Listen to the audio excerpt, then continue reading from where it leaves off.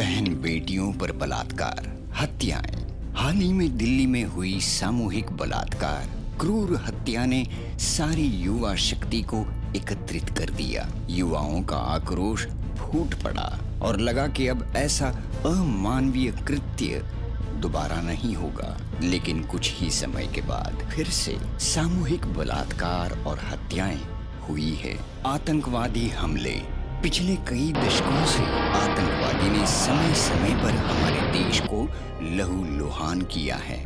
कश्मीर से कन्याकुमारी तक और गुजरात से आसाम तक जब भी मौका मिला, आतंकवादियों ने हमें जख्म दिए। पुलिस प्रशासन ने तमाम तरह के दावे किए। लोगों ने विरोध प्रदर्शन और एकता की झांकियाँ निकाली। पिछली गलतियों से सीख लेकर ज़्यादा चुस्त और चौकन्ने रहने का आश्वासन किया, परंतु आतंकवादी हमले और हत्याकांड होते ही रहे। हाल ही में हुए हैदराबाद और बंगलोर के आतंकवादी हमले, इसकी ताजी मिसाल है। कई दिनों में ऐसी घटना एक आम बात हो गई। भोपाल दुर्घटना, विश्व की सबसे बड़ी भयंकर औद्योगिक दुर्घटना।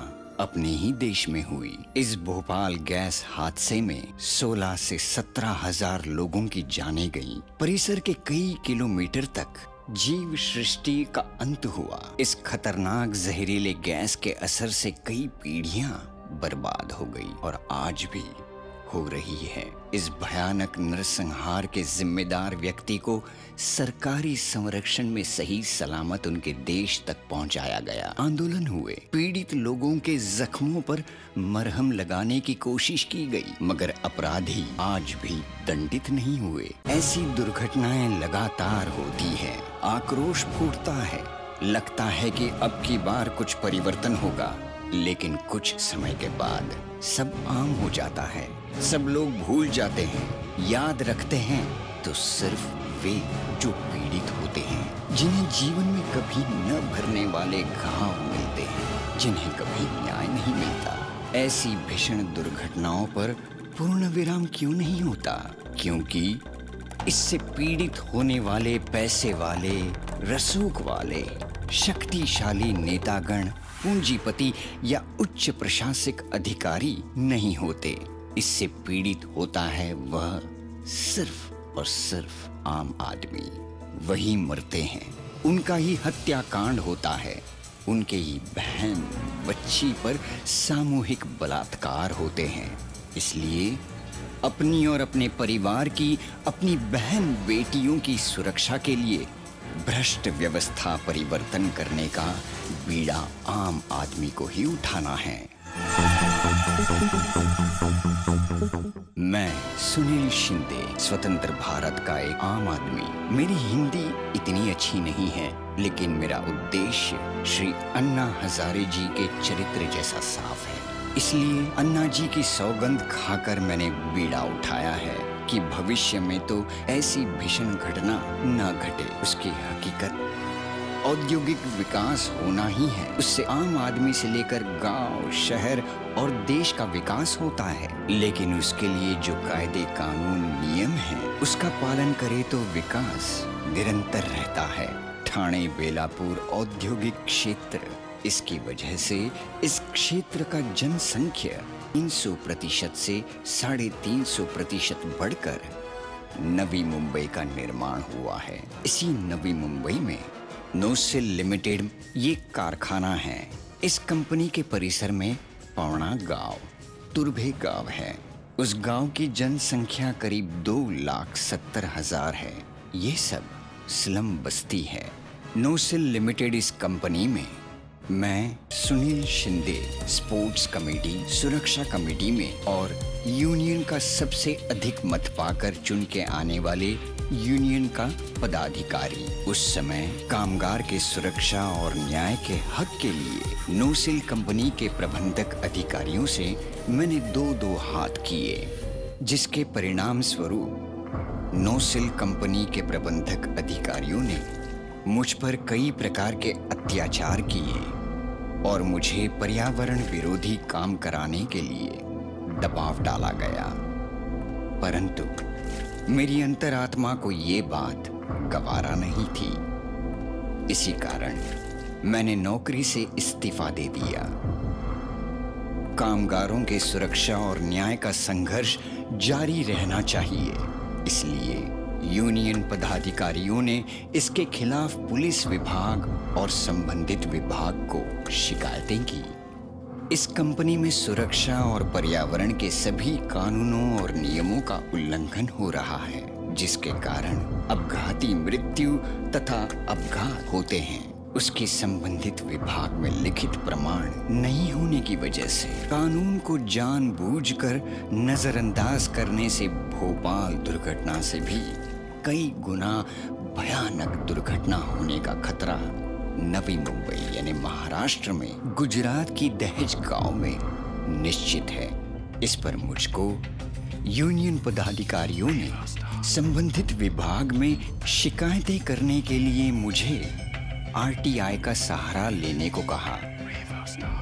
बाद में वही यूनियन पदाधिकारी अपने बयान से पलट गए। उन्होंने लिखित प्रमाण दिया। कि इस कंपनी में अपघाती मृत्यु और अपघात हुए ही नहीं।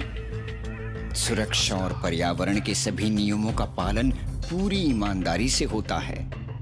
ऐसा लिखित विवरण सभी संबंधित विभाग और पुलिस विभाग में प्रस्तुत किया गया है। ये यूनियन पदाधिकारियों की ये बदली हुई मानसिकता को लेकर उनके क्रूर अपराध को सिद्ध करता है। नोसिल लिमिटेड में अत्यंत विस्फोट, ज्वलनशील और जहरीले रसायन और गैसेस जैसे कि acetone acetylene ammonia aniline n butanol carbon disulphide caustic potash caustic soda like chlorine cyclohexyl amine cyclohexyl mercaptan diesel oil formic acid, hydrogen, hydrogen carbon solvent, hydrogen peroxide, sodium hydrosulfide, hydrochloric acid, isopropyl alcohol, LSHS, LPG, methyl isobutyl, ketone, morpholine, p-nitrochlorobenzene, sulfuric acid, toluene, xylene. इन सब रसायनों का इस्तेमाल बड़ी मात्रा में गैर कानूनी तरीके से किया जाता है। इस रसायनों और गैसों का इस्तेमाल अति उच्च दाब, अति उच्च तापमान पर किया जाता है। उसमें से ऐसी भी प्रक्रियाएँ हैं कि तापमान का कंट्रोल न होने से जान बचाने के लिए भागने का प्रावधान है। इस उत्पादन की विश्व से बड़ी मांग बढ़ने के कारण जहाँ दो प्लांट थे, वहाँ चौदह से पंद्रह प्लांट भीड़ भाड़ में खड़े किए गए। उनमें सुरक्षा जगह न के बराबर है। ऐसे ही खतरनाक रसायन और गैसों का संग्रह बड़ी ही लापरवाही से भारी मात्रा में किया जाता है। इस वजह से tankers, trolleys, containers, trucks tempos इत्यादि का आना जाना बड़ी मात्रा में होता है। उससे आपातकालीन मार्ग पर रुकावटें होती हैं। इस रुकावटें की वजह से आपातकालीन समय पर दमकल गाड़ियाँ एंबुलेंस की मदद न मिलने से छोटी सी घटना, भीषण दुर्घटना का रूप लेकर बड़ी मात्रा में जन हानि पर्यावरण हानि करेगी। इसलिए इस गंभीर रुकावट की समस्या का हल तत्काल निकालने के लिए मैंने कई साल तक हर संभव प्रयास किए।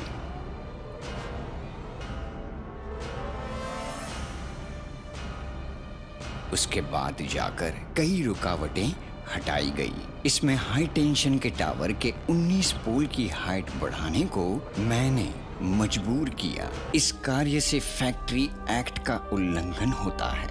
इतना सब कुछ होने के बाद भी नो सिल कंपनी प्रबंधन पर औद्योगिक सुरक्षा और आरोग्य विभाग ने कोई भी कानूनी कार्रवाई नहीं की। इस संदर्भ के बारे में नवी मुंबई के पुलिस आयुक्त माननीय जावेद अहमद से मुलाकात करके उन्हें उस जगह की दुर्घटनाग्रस्त की स्थिति के बारे में फ़ोटो दिखाकर तत्काल कार्रवाई करने के लिए प्रार्थना की। पुलिस विभाग और फायर ब्रिगेड विभाग मिलकर जन जागरण करेंगे ऐसे उन्होंने आश्वासन दिया। आपातकालीन समय में होने वाली दुर्घटनाओं से बचने के लिए उस कंपनी में इस्तेमाल होने वाले रसायनों और गैसेस की सूची मुख्य द्वार पर लगाने के लिए संबंधित विभाग से कई बार मैंने मांग की, ताकि आपातकालीन समय पर पुलिस और फायर विभाग से उनकी मदद लेकर दुर्घटना को रोका जाए। मेरी इस सूचना को लेकर औद्योगिक सुरक्षा और आरोग्य विभाग ने प्रसिद्ध माध्यम में खुद की पीठ थपथपाई। लेकिन मेरी मांग को कई महीनों तक नजरअंदाज करने के बाद में जाकर सूची की आवश्यकता थी, वह पूरी कर दी। ऐसी दुर्घटनाग्रस्त स्थिति रहते हुए भी नोसिल कंपनी आपातकालीन मॉक ड्रिल ये केवल कागज़ी दिखावा करती है। ऐसे ही अति जहरीले रसायनों का इस्तेमाल करते समय नोसिल कंपनी में जो अति प्रदूषित जहरीला पानी, गैसेस केमिकल वेस्ट आदि हज़ारों लाखों टन लीटर में पैदा होता है। कानूनी तौर पर इन पर प्रक्रिया करने के लिए संयंत्र कार्यरत रहने का नियम बंधन है। लेकिन इस कंपनी में जो संयंत्र लगाई है, वे केवल कागज़ी दिखावा है। इसकी वजह से अति प्रदूषित जहरीला पानी, गैसेस केमिकल वेस्ट गैर कानूनी ढंग से बड़ी मात्रा में पर्यावरण में छोड़ दिए जाते हैं या गाड़ दिए जाते हैं। जो हो रहा है, वह कैसे गैर कानूनी तरीके से हो रहा है, ये सिद्ध करने के लिए मैंने आरटीआई के अंतर्गत जानकारी प्राप्त करने के लिए राज्य सूचना आयोग तक अपील की। तभी भी जानकारी दी नहीं गई। उदाहरण के तौर पर, नोसिल कंपनी को संबंधित विभाग से कितनी मात्रा में रसायनों और गैसेस के इस्तेमाल करने की अनुमति दी है? सामने लाने के लिए, महाराष्ट्र प्रदूषण नियंत्रण मंडल से petroleum and explosive safety organisation इस विभाग ने और औद्योगिक सुरक्षा, आरोग्य ये विभाग प्रसार माध्यमों में एक बाजू में प्रसारित करता है कि हमारा विभाग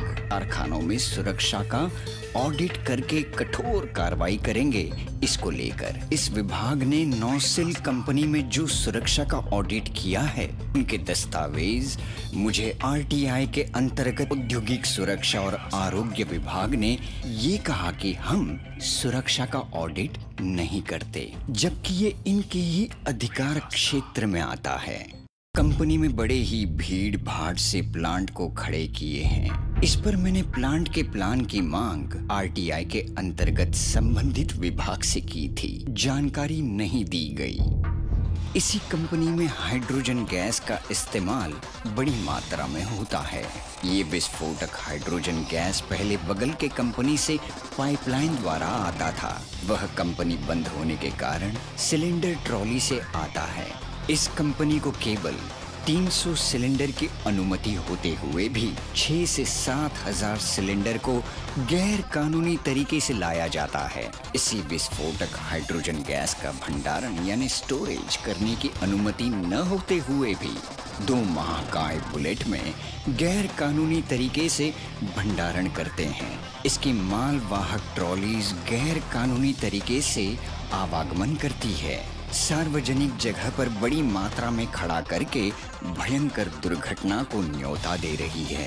कई बार ये विस्फोटक हाइड्रोजन गैस की गाड़ियाँ सार्वजनिक रास्ते पर लावारिस खड़े रहते हैं, जहाँ पर चाय और पान बीड़ी की दुकानें कई हैं, जिनसे झट से आग पकड़ के बड़ा धमाका अटल है।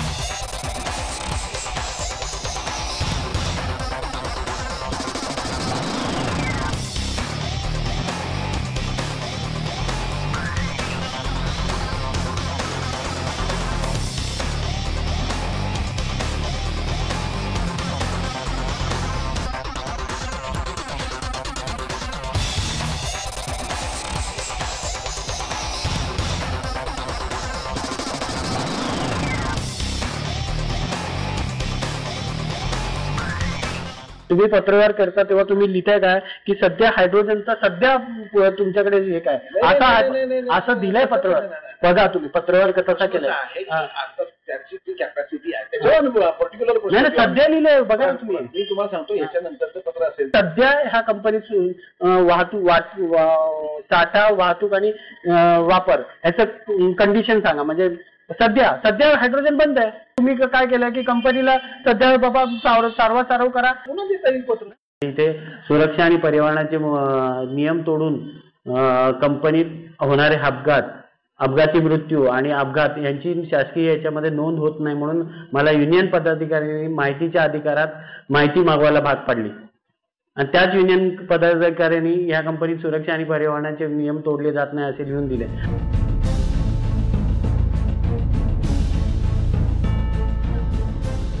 इसी गांधीर्य पर मैंने पुलिस महकमे और इससे संबंधित सारे सरकारी महकमों को कई बार सबूतों के साथ कई माध्यमों से शिकायत की।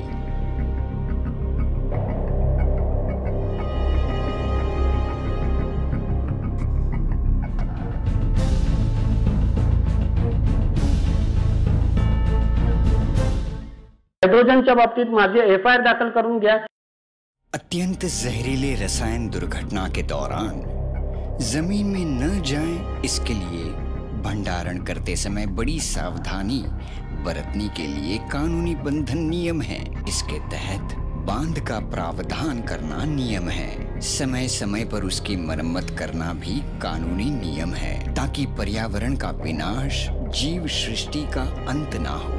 नौसेल कंपनी में अत्यंत जहरीले एनिलीन रसायन का इस्तेमाल गैर कानूनी तरीके से बड़ी मात्रा में होता है, जिसके गुणधर्म इतने खतरनाक है कि इस जहरीले रसायन की कुछ बूंद भी मनुष्य के शरीर पर घुस जाए। तो मनुष्य का शरीर का ऑक्सीजन का स्तर तुरंत कम हो जाता है, जिससे मनुष्य की मौत हो जाती है। इस अत्यंत जहरीले एनिलीन रसायन का भंडारण को बड़ी सावधानी से बरतनी चाहिए। पर ऐसा होते हुए भी अत्यंत जहरीले एनिलीन रसायन स्टोरेज टैंक के बॉटम फ्लंज के नट बोल्ट्स जंग लगे हुए होने पर भी उसकी मरम्मत में पूरी लापरवाही बरती गई, जिसके कारण एक दिन उसके नट बोल्ट टूट गए और अति जहरीले 40 टन एनिलीन रसायन ज़मीन पर बह गया और नीचे बाँध की मरम्मत कई सालों से न होने के कारण अति जहरीला 40 टन एनिलीन रसायन ज़मीन में जाने के कारण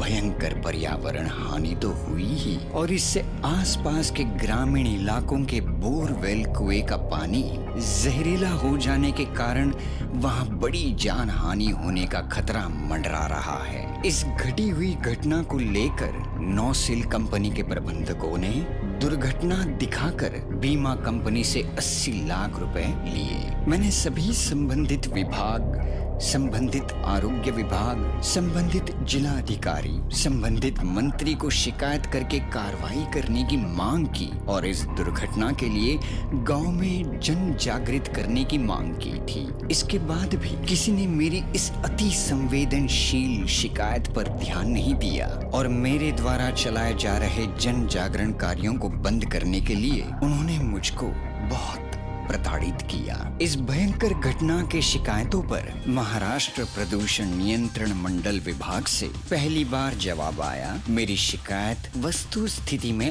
आधारित नहीं। इस भयंकर घटना क्रम की जाँच कैसे की? उसके दस्तावेज़ की मांग मैंने आरटीआई अंतर्गत राज्य सूचना आयोग तक अपील करने के बावजूद भी महाराष्ट्र प्रदूषण नियंत्रण मंडल विभाग ने जानकारी नहीं दी। उसके बाद मैंने पुनः बार बार, कई बार शिकायत करने पर महाराष्ट्र प्रदूषण नियंत्रण मंडल विभाग ने कहा कि ये भयंकर घटना महाराष्ट्र प्रदूषण नियंत्रण मंडल विभाग के अंतर्गत नहीं आती। और भी किए गए मेरे शिकायतों पर। रासायनिक कारखानों में एक आध बार रासायन ज़मीन में तो जाता ही है। और ये विषय औद्योगिक सुरक्षा और आरोग्य विभाग के अंतर्गत आता है। इसलिए उस विभाग से संपर्क करें। इसी कंपनी में कार्बन डाइसल्फाइड यानी सी एस टू जो रसायन वातावरण में आते ही झट से आग पकड़ के बड़ा धमाका करता है। ये कार्बन डाइसल्फाइड जिसके भंडारण के लिए 50 प्रतिशत कार्बन डाइसल्फाइड और 50 प्रतिशत पानी ही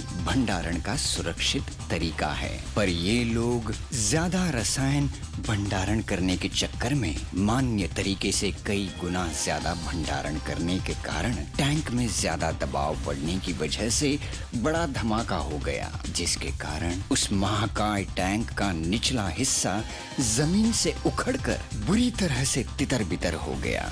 भगवान की दया से ये धमाका आग में परिवर्तित नहीं हुआ। नहीं तो प्लांट में मौजूद अवैध रसायन और गैस के भंडार में आग पकड़ता जिससे भयानक प्राण घाती अति जहरीला गैस बहुत ही बड़ी मात्रा में पैदा होती कंजेस्टेड प्लांट और मौजूद आपातकालीन रुकावटें इस घटना को इतना भयंकर बना देती कि इससे भोपाल दुर्घटना से भी बहुत भयंकर दुर्घटना घटती थी, जिससे दो से तीन लाख मनुष्यों की हानि होती। पाँच से छह लाख मनुष्य बाधित होते। संपूर्ण नवी मुंबई में मौत का मंजर होता।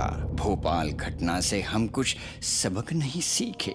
वापस दुनिया का सबसे बड़ा नरसंहार सभी माध्यमों से इस घटना को हत्याकांड का करार देते।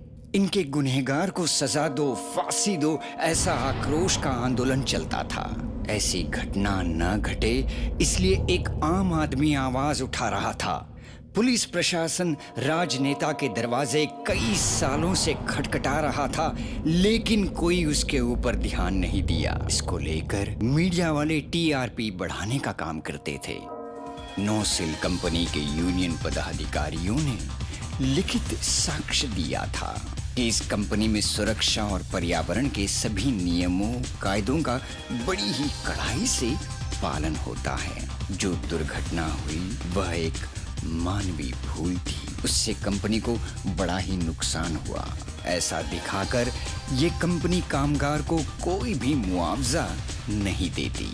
परिसर के नागरिकों को कोई मुआवजा नहीं मिलता। ये यूनियन पदाधिकारी और नौसिल कंपनी के प्रबंधक ने मिलकर जो क्रूर साजिश की थी, वह साजिश कामगार तक पहुँचने के लिए मैंने कई निवेदन पत्र रजिस्टर पोस्ट से भेजे थे। उन रजिस्टर पोस्ट को यूनियन पदाधिकारियों ने और नौसिल कंपनी के प्रबंधक ने स्वीकार नहीं किए। इसी मंसूबे को लेकर मैंने यूनियन के वाइस प्रेसिडेंट श्री शिवाजी राठौड़ से मुलाकात करके उनसे प्रार्थना की।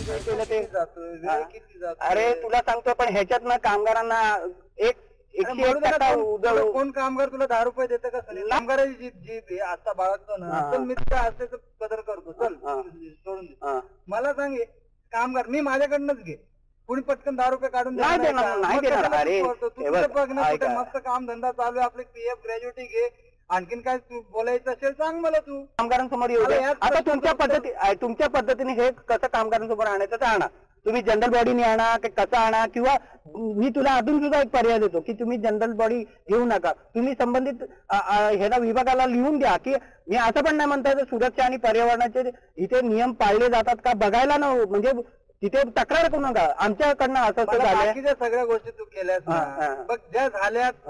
ते त्याच्यावर तू काय चर्चा करू नको माझ्याशी. मला हे म्हण तू कामगार कामगार जे करतोय त्यासाठी तू भांडतोय. ज्या समाजासाठी तू भांडतोय ज्या जनहितासाठी तू हे करतोय ना, त्यातले किती लोक तुझ्या पाठीशी हा? हे तू बोललास ना शिवा. आता सुद्धा वेळ गेली नाही. आतून सुद्धा बसूया आपण. चल मी पीएफ आणि ग्रॅज्युटी काढून देतो तुझ्या शब्दाखातीर पीएफ आणि ग्रॅज्युटी चालू हे करतो. माझ्या अप्रत्यक्ष तुम्ही तिकडे एक लेटर तरी देऊन द्या. मी तुम्हाला सांगत नका मला द्या. की तुम्ही ह्या कंपनीत असं असं सुरक्षा आणि पर्यावरणाचे नियम तोडले जातात. असं आमच्याकडनं एक असं लेटर गेलेलं पण ते तुम्ही येऊन चेक करा.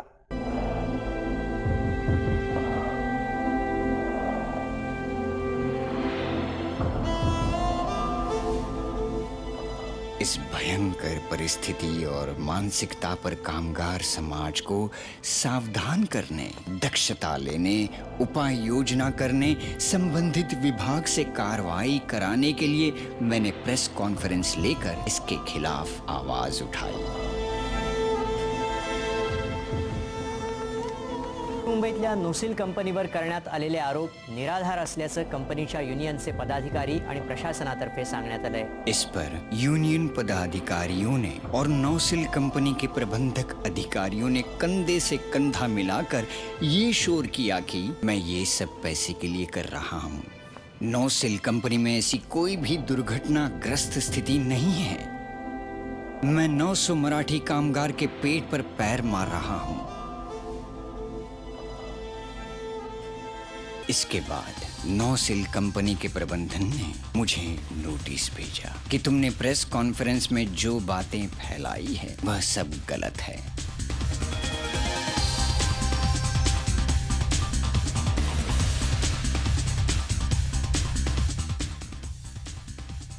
और ये तुमसे गलती हो गई है। ऐसा माफीनामा सात दिन के अंदर लिख कर दो, नहीं तो तुम्हारे ऊपर दस करोड़ का मान हानि दावा करेंगे।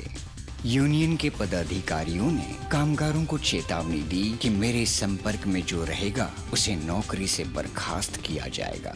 इसके बाद मैंने कामगार और समाज में दक्षता, सतर्कता, उपाय योजना करने के लिए दो महीने पहले संबंधित विभाग से कानूनी अनुमति की मांग करके महत्वपूर्ण अवसर पर कई बार जन जागरण अभियान करने का प्रयास किया। राष्ट्रीय सुरक्षा दिन के अवसर पर मैंने कंपनी के परिसर में बैनर्स लगाए। तो वो बैनर्स लोगों को दिखाई न दे, इसलिए नो सेल कंपनी के प्रबंधक ने उधर टैंकर्स लगाने को कहा जबकि आपातकालीन मार्ग पर टैंकर्स कंटेनर ट्रॉली के रुकावटे की गंभीर समस्या रहते हुए भी मुझे धमकाया गया और मेरे बैनर्स निकाले गए। हाँ, नहीं नहीं साहब क्या बुलाने के लिए बोला कि टेंशन लगाएगी इधर लगाने। विश्व पर्यावरण दिन के अवसर पर मैंने कंपनी के परिसर में बैनर्स पत्रक लगाए। तो नौसिल कंपनी के प्रबंधक श्रीमान चक्रवर्ती ने मेरे लगाए हुए पत्रक फाड़े। मुझे मारने की धमकी दी। मैंने पुलिस या म्यूनिसिपालिटी को बुलाने की बात उठाई, तभी भी मेरे बैनर्स फाड़ के कंपनी के अंदर लेके गए। को नहीं तो म्यूनसिपालिटी को बुलाओ ना आप। मेरे को मेरे को कुछ प्रॉब्लम नहीं पुलिस को नहीं तो म्यूनसिपालिटी को बुलाओ ना।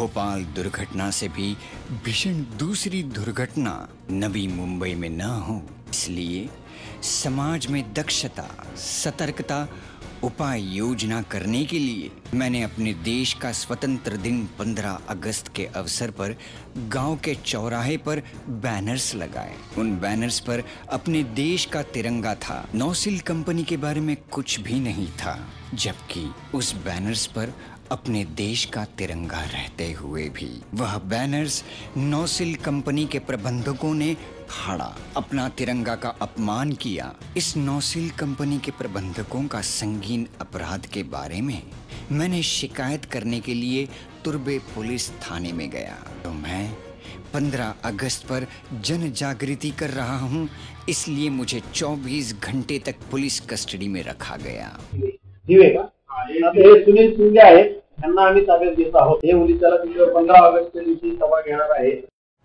कौन बचाएगा मेरे देश को? ये शीर्षक को डालकर, वैसे बैनर्स लगाकर 22 अगस्त को मैंने गाँव के चौराहे पर जन जागृति का आयोजन किया। तो उस वक्त कई सारे पुलिस अधिकारी, पुलिस कर्मचारी वहाँ पर आए और वहाँ जमा लोगों को भगाया और मेरे लगाए बैनर्स को निकालने के लिए नौ सेल प्रबंधक को साथ दिया। you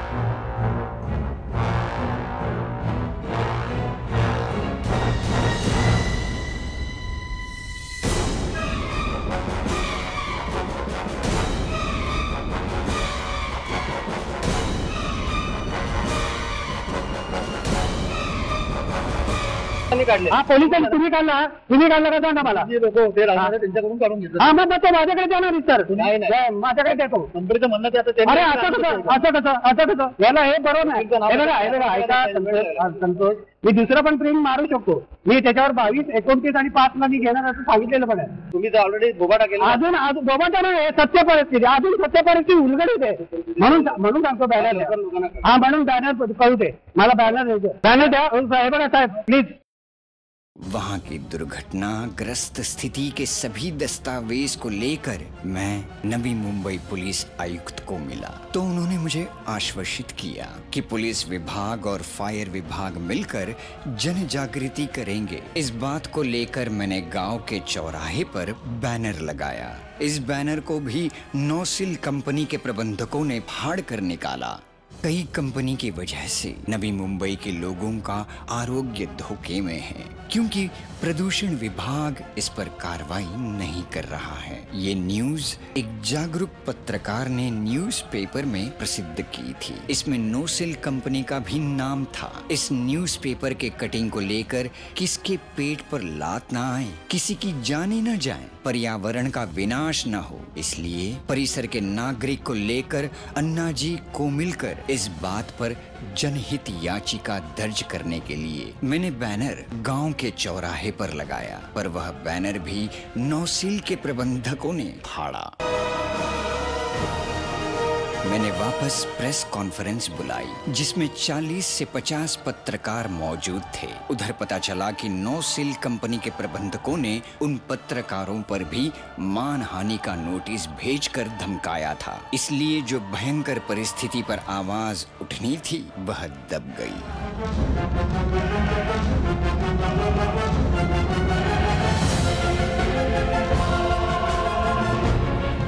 पत्रकारों ने ऐसी मामूली धमकी के आगे घुटने नहीं टेकने चाहिए थे। इससे ये भी लगता है कि पत्रकारों को भी भ्रष्ट किया गया। मैंने 26 11 2010 को डेडली प्रेशराइज हाइड्रोजन गैस की ट्रॉली नंबर एम एच के ड्राइवर के पास डेडली प्रेशराइज हाइड्रोजन गैस का ट्रांसपोर्ट करने का संबंधित विभाग का लाइसेंस नहीं था। उसी जगह पर कई सारी विस्फोटक गैसेस, रसायनो टैंकर्स, ट्रॉलीज बड़ी ही मात्रा में थी। इस गैर कानूनी बात को लेकर मैंने एक शून्य शून्य पर फ़ोन करके शिकायत की। किसी ने इस पर कार्रवाई न करने पर ड्राइवर को लेकर तुरभे पुलिस स्टेशन में जाकर इस बात पर एफआईआर दर्ज करने की मांग की।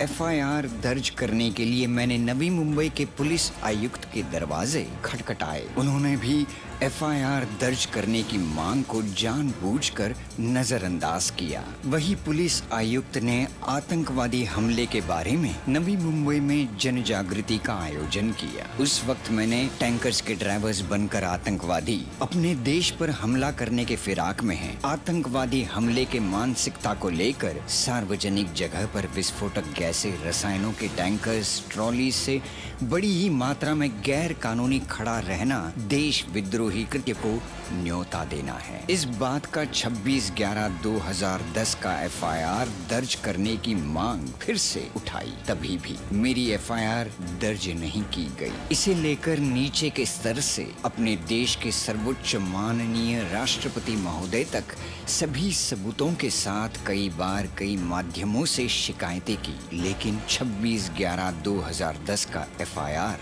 दर्ज नहीं किया गया, जो कि एफआईआर दर्ज करके लेना स्वतंत्र भारत में एक आम आदमी का संवैधानिक अधिकार है।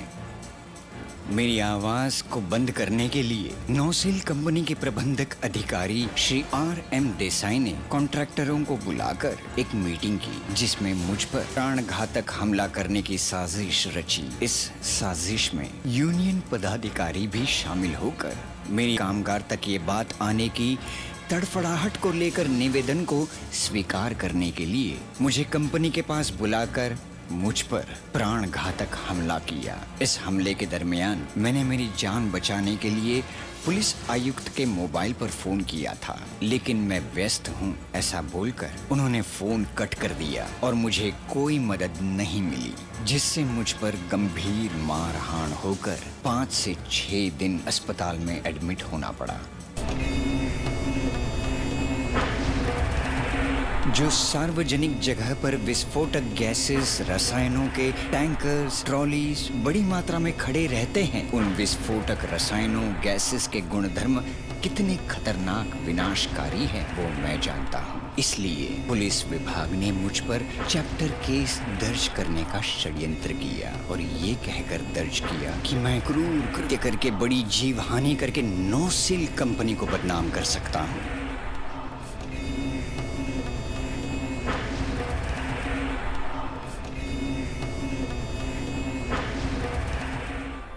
जो आदमी कामगार कामगार समाज के प्रति जी जान से लगाव रखता है, उनके सुरक्षा के लिए सब कुछ दाव पर लगाता है, उसे ही जिम्मेदार पकड़ने के लिए। और जिन उद्योगपति के गैर कानूनी क्रूर कृत्य को छुपाने के लिए, उसे ही दोषी ठहराने की भ्रष्ट पुलिस विभाग की घिनौनी साजिश है। यदि देश विद्रोही, क्रूर कृत्य होकर सुरक्षा पर्यावरण के सभी नियमों का उल्लंघन होकर लापरवाही बरतने की मानसिकता रहने से उधर बड़ी दुर्घटना होकर जीव हानि हुई तो मुझे जिम्मेदार पकड़ा जाएगा। इस पुलिस विभाग की क्रूर साजिश से मुझ पर आत्महत्या करने की नौबत आएगी। मैंने वापस नीचे के स्तर से अपने देश के सर्वोच्च माननीय राष्ट्रपति महोदया तक सभी सबूतों के साथ कई बार कई माध्यमों से शिकायतें की। इसके बाद जाके कार्रवाई का नाटक करने के लिए डीसीपी श्री दुधेजी ने 31 मई 2012 को तुरभे पुलिस थाने में संबंधित विभाग के अधिकारियों की बैठक ली। उसमें कई गैर कानूनी कृत्य के बारे में मेरी शिकायतें रहते हुए भी केवल हाइड्रोजन गैस के गैर कानूनी कृत्य के मुद्दे पर petroleum and explosive safety organisation इस विभाग ने दिनांक 23 मार्च 2012 पुलिस विभाग को जो लिखित जानकारी दी थी, उसके अनुसार नोसिल कंपनी में लगातार गैर कानूनी deadly pressurise hydrogen chlorine gas का भंडारण और इस्तेमाल व आवागमन बड़ी मात्रा में हो रहा है। इसकी बहुत लोगों से शिकायतें आई हैं। इसके दस्तावेज़ लेकर 31 मई 2012 को एफआईआर दर्ज की गई। इस एफआईआर में जो डेडली प्रेशराइज हाइड्रोजन गैस के भंडारण इस्तेमाल व आवागमन गैर कानूनी है, उस कृत्य से factory act fire act MRTP act pollution act और कई एक्ट का उल्लंघन होने के बाद भी उस विभाग के अधिकारी मौजूद होकर भी खाली एक्सप्लोजिव एक्ट का उल्लंघन होता है ऐसा दिखाकर मामूली धाराएँ लगाकर एफआईआर में मुझे फरियादी न रखे पुलिस विभाग के कोई पुलिस को फरियादी रखकर कार्रवाई का नाटक किया गया। 31 मई 2012 का एफआईआर दर्ज करने के बाद तो पहले से भी कई कई गुना ज़्यादा गैर कानूनी कृत्य को बढ़ावा दिया गया इस संदर्भ में। मैंने नीचे के स्तर से अपने देश के सर्वोच्च माननीय राष्ट्रपति महोदया तक सभी सबूतों के साथ कई बार कई माध्यमों से शिकायतें की। इस पर मैंने शिकायत की। पुलिस विभाग ने कहा कि दूसरे विभाग से संपर्क करें।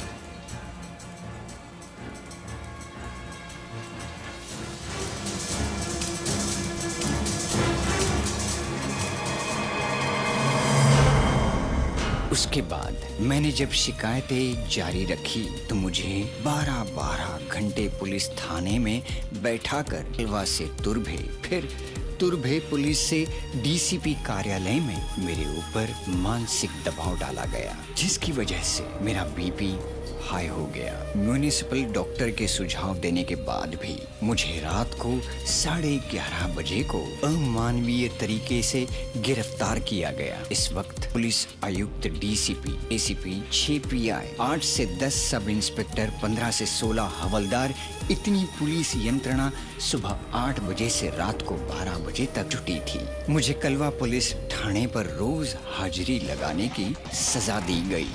पुलिस ने मुझ पर जो चैप्टर केस दर्ज की है तो उस जगह पर कभी भी बड़ी दुर्घटना, विद्रोही कृत्य हो जाए तो मुझे ही दोषी ठहराया जाएगा। इसलिए, जो गैर कानूनी कृत्य हो रहे हैं, उसे तत्काल रोका जाए। इसलिए मैंने वापस डीसीपी को मिलने की प्रार्थना की। तो उल्टा वापस मुझको गैर कानूनी तरीके से गिरफ़्तार किया गया। इस गैर कानूनी गिरफ्तारी के सबूतों के वीडियोस और भयंकर दुर्घटनाग्रस्त स्थिति पर नीचे के स्तर से अपने देश के सर्वोच्च स्तर तक कई बार शिकायतें की। इसके बाद भी भयंकर परिस्थिति पर तत्काल कार्रवाई हो और कामगारों में छाई हुई दहशत को हटाने के लिए, समाज तक जन जागरण के माध्यम से पहुँचने के लिए पुलिस विभाग का सहयोग मिलने की मांग को लेकर मैंने महाराष्ट्र राज्य के मंत्री के लोकशाही दिन पर उपस्थित रहने के लिए कई महीनों तक अनुमति मांगी। इस बात को लेकर मैंने आज़ाद मैदान में अनशन भी किया। ये अनशन के अनुमति को लेकर कई महीने पत्र देने पड़े।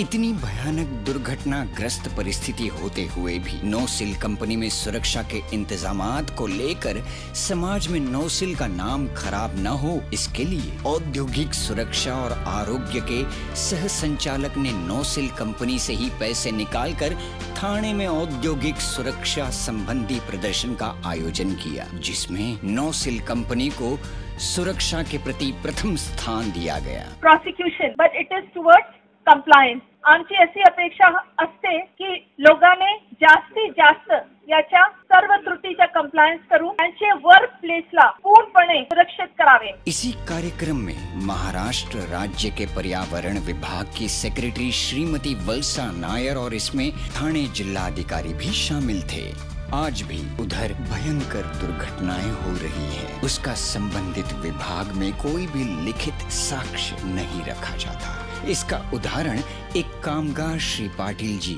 हाई टेम्परेचर रसायन के द्वारा जलने से बुरी तरह घायल हो गए। ये दुर्घटना छुपाने के लिए उस जख्मी कामगार को कंपनी में ही तीन दिनों तक गैर कानूनी तरीके से रखकर प्राथमिक उपचार केंद्र में ही इलाज चालू रखा गया। जब उस कामगार के घर वाले, रिश्तेदार कंपनी में मोर्चा लेकर आए, उसके बाद उसे बेहद मामूली हॉस्पिटल में भर्ती करके आधा अधूरा इलाज करके उसको डिस्चार्ज कर दिया गया। इस बारे में डीसीपी सीनियर पीआई को मोबाइल ईमेल से कई बार शिकायतें की गई। उन्होंने कार्रवाई नहीं की, इसलिए मैंने वापस नीचे से लेकर अपने देश के सर्वोच्च तक कई बार शिकायतें की। इतनी संवेदनशील परिस्थिति पर आदेश जारी करने का नाटक करके वे एक दूसरे को उंगली दिखा रहे हैं।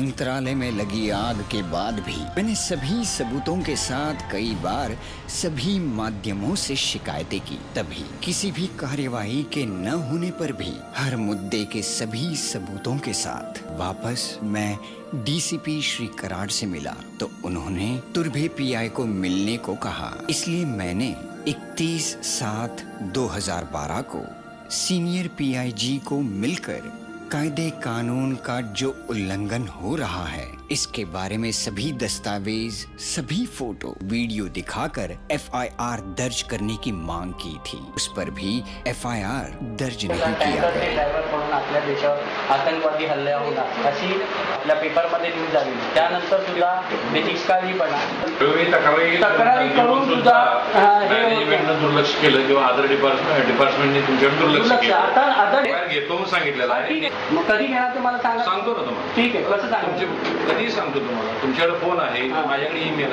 इसके बाद भी नीचे के स्तर से लेकर अपने देश के सर्वोच्च माननीय राष्ट्रपति महोदय तक लिंक भेजकर एफआईआर दर्ज करने की कई महीनों तक मांग की थी तभी भी एफआईआर दर्ज नहीं हुई। गैर कानूनी कृत्य बंद नहीं हुआ। जन जागृति के लिए अनुमति नहीं दी गई। एफ़ आय आर दाखल करून घेणं हा। पण एफ़ आय आरचा बद्दल माहिती नाही तुम्ही पोलीस ऑफिसर आहात ना? एफ आय आर दाखल करून घेणं हा कायदेशीर एकतीस सात नंतर मी जेव्हा तुम्हाला सगळं दाखवलं इथेच तेव्हा त्याच्यानंतर एफ आय आर दाखल करून घेतली नाही. प्लस त्याच्यानंतर तुम्ही पण तिथे बेकायदेशीर कृत्य बंद करत नाही. तर मी जनजागृती करतोय त्याला पण परमिशन देतोय तुम्ही अशा हे करतात. वरिष्ठांनी सांगितलं. बंद कर मला काय बोलायचं नाही. मी बोलणार नाही. ते बंद केल्याशिवाय मी बोलणार नाही. कुठं जायचं जाऊ. नोसिल कंपनी की एक शाखा गुजरात के दहेज गाँव में है और गुजरात के विकास की राजनीति के कारण वहाँ पर सुरक्षा और पर्यावरण के नियमों को नजरअंदाज किया जाता है। इससे महाराष्ट्र के नवी मुंबई में या गुजरात के दहेज गाँव में बड़ी दुर्घटना अटल है। लाखों जान, पर्यावरण हानि, आतंकवादी हमला अटल है। घटी दुर्घटना के जिम्मेदार को बचाने के लिए राजनेता उद्योगपति से मोटी रकम वसूलेंगे। दुर्घटना पीड़ितों को दी जाने वाली सरकारी सहायता राशि में भी भ्रष्टाचार करेंगे। और चैप्टर केस के साजिश से मुझे दोषी ठहरा के मुझे बलि चढ़ाएँगे। ये पुलिस की, राजनेता की क्रूर मानसिकता। अराजकता नहीं तो क्या है? क्या इसलिए महात्मा गांधी, लोकमान्य तिलक, नेताजी सुभाष चंद्र बोस, भगत सिंह, अशफाक उल्ला, चंद्रशेखर आज़ाद राम प्रसाद बिस्मिल्ला, मंगल पांडे जैसे लाखों शहीदों ने कुर्बानी देकर भारत को आज़ाद कराया। लोगों के द्वारा, लोगों के लिए जो आम आदमी सर्वोपरि है, उसे आज़ादी से जीने का हक मिले, इसलिए डॉक्टर बाबा साहेब अंबेडकर जी ने हमें संविधान दिया। आज बिल्कुल उल्टा हो रहा है। आज उद्योगपति के कुकृत्यों और गैर कानूनी काम को छिपाने के लिए पुलिस और राजनेता मिलकर भ्रष्टाचार करके मेरी इस लड़ाई को दबाने के लिए हर संभव कोशिश कर रहे हैं। इसलिए इन्होंने कितने पुलिस आयुक्त, कितने डीसीपी कितने सीनियर पीआई कितने और सारे पुलिस कर्मचारियों का कीमती वक्त बर्बाद किया है। कर रहे हैं। वह भी पुलिस की संख्या के बारे में अभी अभी ये कड़वा सच सामने आया है। उसका उदाहरण, मुंबई की जनसंख्या डेढ़ करोड़ है और पुलिस छियालीस हज़ार है। उसमें से 60 प्रतिशत, सत्ताईस हज़ार छह सौ पुलिस वीआईपी की सिक्योरिटी के लिए बाकी बचे 40 प्रतिशत पुलिस। उसमें से 30 प्रतिशत पुलिस मुझ जैसे अधिकारों की लड़ाई लड़ने वालों को दबाने के लिए इस्तेमाल होती है और लगातार जो भ्रष्टाचार सामने आ रहे हैं, उसके खिलाफ आंदोलन करने वालों को दबाने के लिए होती है। तो बची हुई 10 प्रतिशत पुलिस डेढ़ करोड़ जनता को क्या सुरक्षा प्रदान कर सकती है? इसका अंदाज़ा आप लगा सकते हैं। यही हाल पूरे देश में है। कैसे होगा आम आदमी सुरक्षित?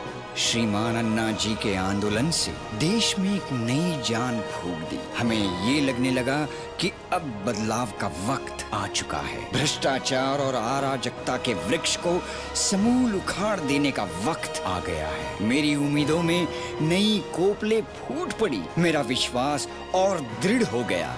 मुझमें लड़ने की एक नई ऊर्जा का संचार हो गया। लड़ाई एक की नहीं, पूरे देश की है। दुर्घटना घटने के बाद सभी माध्यमों से आवाज़ उठता है, मेरी लड़ाई दुर्घटना न घटे इसलिए है। मैं इस लड़ाई को सोशल मीडिया के द्वारा पूरे देश में फैलाना चाहता हूँ।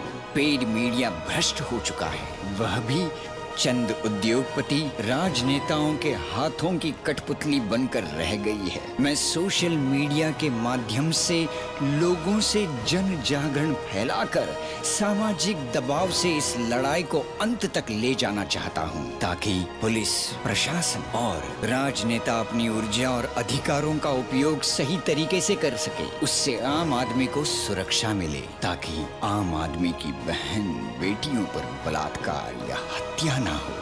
आतंकवादी हमले होकर हत्या कांड ना हो। भोपाल दुर्घटना से भी भीषण दूसरी दुर्घटना होकर नरसंहार ना हो। क्रूर मानसिकता को समूल उखाड़ देने को, भ्रष्ट व्यवस्था परिवर्तन करने को मैं देश की युवा पीढ़ी को आवाहन करता हूँ कि इस प्रशस्त मार्ग पर जिस तरह चाहे परोक्ष या अपरोक्ष मार्ग से अपना योगदान दे।